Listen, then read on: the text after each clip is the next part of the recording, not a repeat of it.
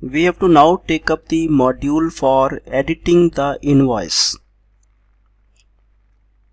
Now uh, before proceeding for the coding let us see what is the desired output and what our plan will be.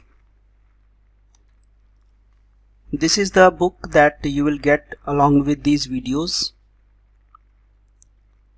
Customer details page is shown when you search for a customer.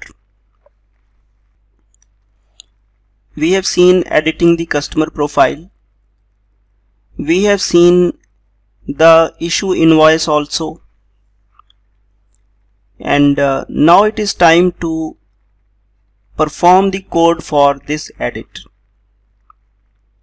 When the user wants to edit the invoice for say order number 16 this is our objective. And uh, we, we can also see now this is what uh, the plan will be. Here you have a stack of edit buttons. When the administrator clicks on this edit button he'll be taken to a new form for editing the invoice the name of the person against whom the invoice has been issued will be shown somewhere here. The product uh, already invoiced for will already be pre-selected here.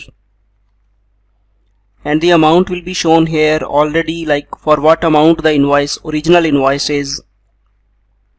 Then a save button.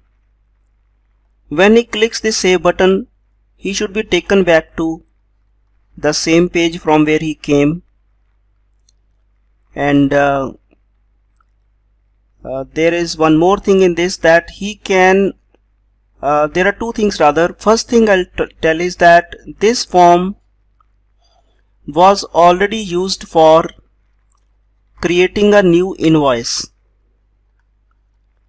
And now we are to make use of the same partial template for editing an existing invoice. We created an invoice form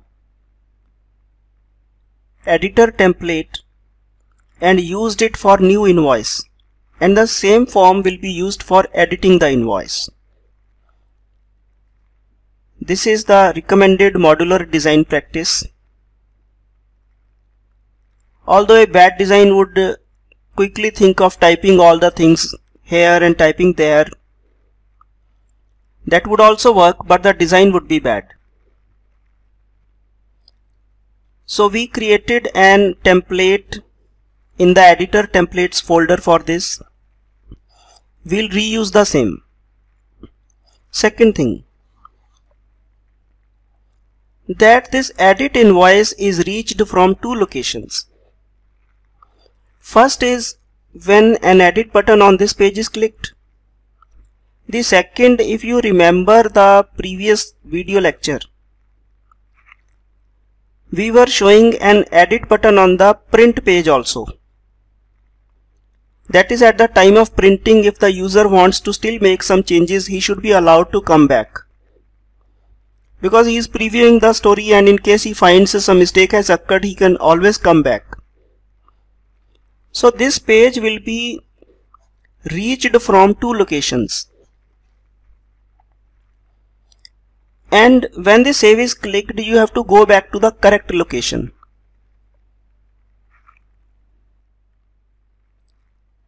So how will we handle this? The technique which we use is that when the user comes from the print preview page, it sends a query string variable called redirect URL. And it contains some parameter like print print page or something like this. This parameter will be read